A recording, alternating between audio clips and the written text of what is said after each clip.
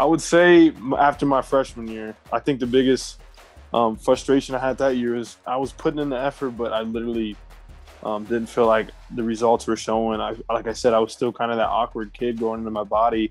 And, you know, that kind of off season, my freshman going into my sophomore year is where I re- kind of saw the biggest gains, I think, of my life.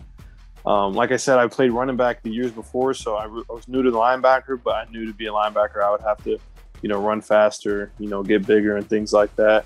And so, kind of that off season, I really kind of dived into everything. Like I was telling you, I even read um, a decent amount of STACK articles and just, you know, trying to find an edge and to get bigger, to get stronger. Um, kind of give you like an idea of it. My freshman year, I actually played, I was on our freshman team, and we had like if you were in a one or a two, you're on the B team. And so I was actually on that B team. Like that's how, you know, kind of awkward I was and still trying to, you know, get into my body. And then that off season, I made a lot of gains. And then the next season, I was um, starting on varsity. That toughness, that mindset, I think that was the biggest thing for me because honestly, early on, I just wasn't tough. And I think to be a great football player, like you have to be tough.